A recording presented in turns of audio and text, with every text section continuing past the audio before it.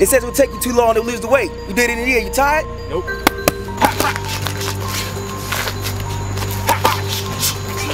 It told you it would take you too long to improve your cardio. You did it in four months. You tired? Nope.